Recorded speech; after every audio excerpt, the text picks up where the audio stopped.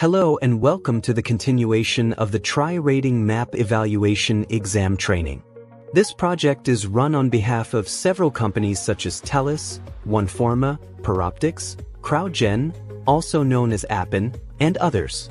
Depending on which vendor you apply through, you might see the exam labeled as Data Analyst, Milky Way Mars, or Kuiper. Don't be confused, they're all simply the Map Evaluator exam on the TryRating platform. Before we get started, a quick disclaimer. This content is for learning and informational purposes only. It is not created, supported, or endorsed by TryRating, TELUS, OneForma, Peroptyx, or Appen in any way. I will have to speed up the recording of this video so that it doesn't get too long. So just pay attention to the details. You might want to reduce the playback speed of the video if you wish. If you need an experienced map rater to take the exams for you, you can click on the WhatsApp link in this video description. I can guarantee you a 100% pass.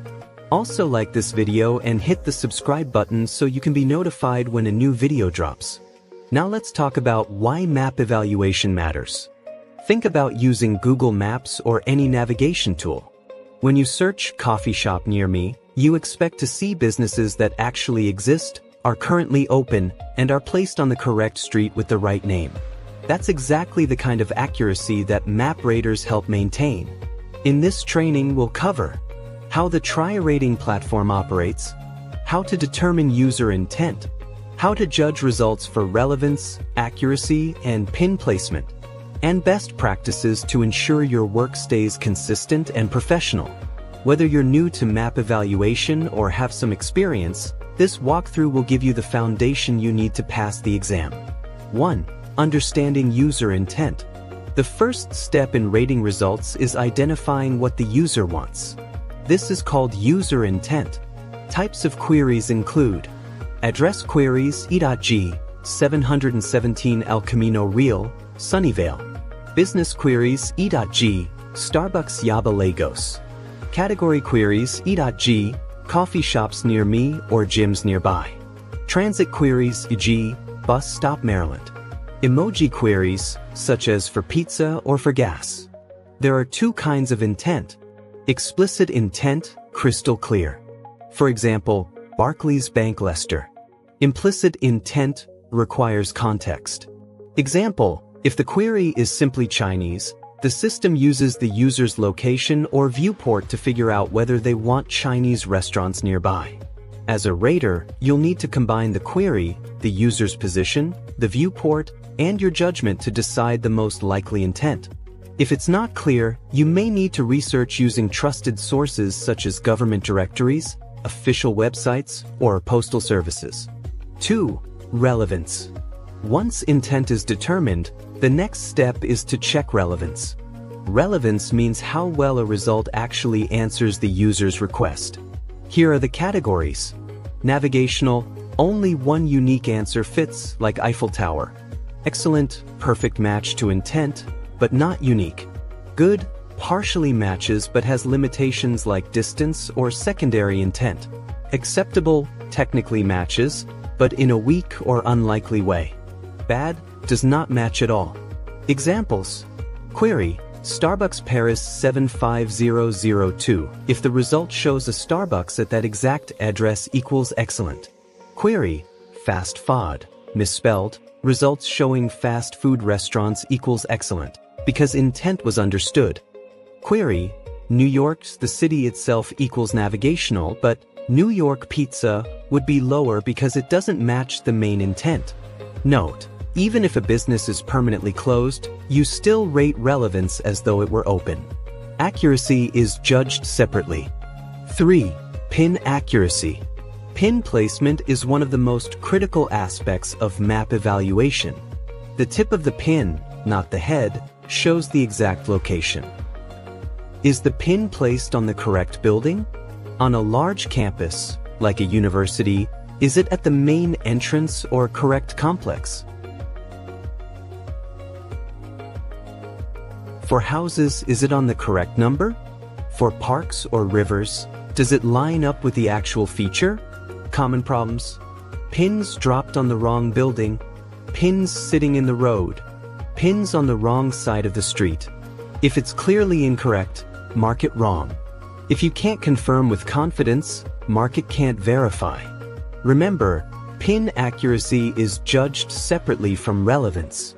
A listing can be perfectly relevant but fail if the pin is misplaced. 4. Navigational queries. Navigational queries are when the user is asking for one unique result. Examples. Taj Mahal. Union Bank Marina Lagos. Charing Cross Station London. Only one result can fully satisfy intent in these cases. Ask yourself, does a real-world result exist that exactly satisfies this query? If yes, rate it navigational. Other results might still be excellent or good, but only one is the true navigational target. Tip: Navigational queries are rare for category searches. Example, restaurants in New York, not navigational because multiple valid options exist. 5. The rating tool. When rating you'll see the query header, user search, location, viewport. The result list with name, address, category, and pin. The map view showing pins, user location, and viewport. Pros 1. Determine intent. 2. Ask the navigational question if needed. 3. Rate each result for relevance. 4. If using Search 2.0, also check name accuracy, category, address, and pin placement. 5. Leave short comments in English for anything below excellent. Example. Query 357 Western Avenue Suite 1. Result 357 Western Avenue Suite 2. Rating Good comment. Different unit number partially satisfies intent. 6. Name accuracy. Name accuracy checks if the business name matches its official, real-world identity. Correct name matches official signage or online presence. Examples. Query, Starbucks Palo Alto result. Starbucks equals correct. Query, Whole Foods Market San Diego result. Whole Foods Market equals correct. Query, Best Buy Manhattan result. Best Buy equals correct. Extra or missing words are not acceptable. Partially correct. Minor. Starbucks instead of Starbucks. Walmart instead of Walmart. Partially correct. Moderate. Best Buy Electronic Superstore instead of Best Buy. Target Supermarket instead of Target. Incorrect names. Query Apple Store San Francisco result. iPhone shop equals incorrect. Query Costco Seattle result. Wholesale warehouse equals incorrect. Query Trader Joe's Boston result. Trader Joe's grocery market equals incorrect. Chain stores, Target, CVS, Walmart, McDonald's use brand name only. Don't include corporate structures, LLC Incorporated, unless it's part of their branding. If you cannot confirm with reliable sources, choose Can't Verify. 7. Address accuracy. Just like names and pins, addresses must be precise. A complete U.S. address usually contains 1. Street number 2. Street name 3. Unit slash suite 4. City 5. State abbreviation 6. Zip code 7. Country implied in U.S. queries Correct address Query Apple Store Union Square San Francisco Result 300 Post Street San Francisco California 94108 equals correct. Query, White House, Washington, D.C. Result, 1600 Pennsylvania Avenue Northwest, Washington, D.C. 20500 equals correct. Incorrect address examples. 1. Wrong street number, 125 Main Street instead of 123 Main Street. 2. Missing suite, 500 Fifth Avenue without Suite 200. 3. Wrong city, address listed in Oakland instead of San Francisco. 4. Wrong postal code, 91011 instead of 91604.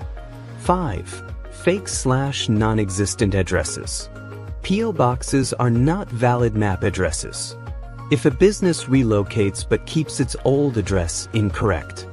Formatting differences, street versus ST, are fine. Translating into another language not acceptable. How to verify. Business's official website, USPS zip code lookup, trusted directories, Google Business Profile, Yelp, BBB. Government sources for schools, hospitals, etc. If nothing confirms the address, Mark can't verify.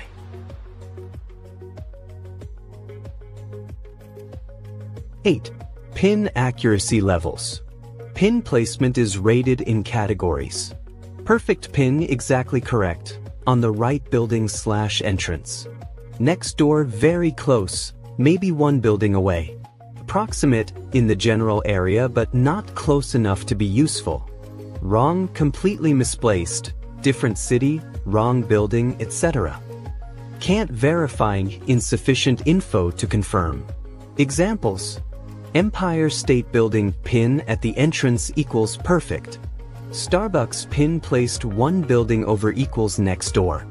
Costco pin dropped in the shopping plaza, not on store equals approximate.